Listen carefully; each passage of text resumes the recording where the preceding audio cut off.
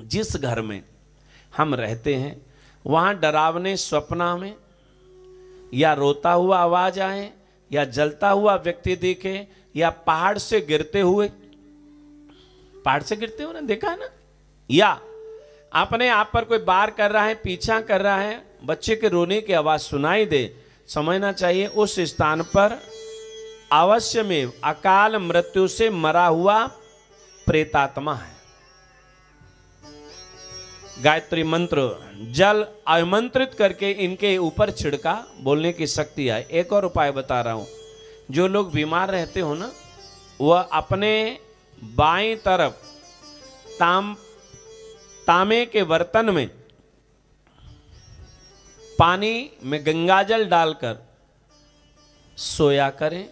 जो लगातार बीमार रहते हैं और वह जल सुबह में फ्लश में डाल दें।